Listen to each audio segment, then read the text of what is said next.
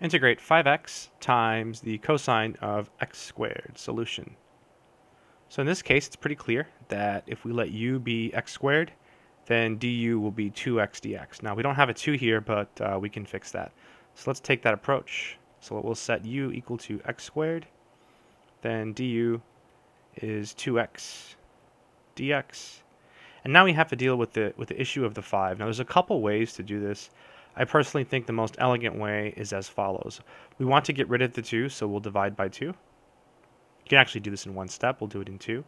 So you have du over 2 equals x dx. Now we almost have what we want. We have x, we have dx. We're missing the 5.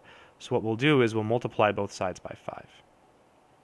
And now everything matches. We can make the substitution all at once. We have 5x dx. That's going to be this and we have u right here. So let's do it. So I'll call it i so I don't have to write it again. So i is equal to, well, 5x dx is 5 du over 2. So I'll pull the 5 halves out. 5 halves. Then we just end up with cosine u du. When you integrate cosine, you just get sine. So you get 5 halves sine u plus a constant and that does check, right? The derivative of sine is cosine. And so here you get 5 halves, sine, and then what was u? u was x squared.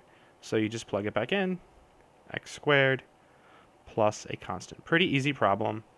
Uh, I hope this helps.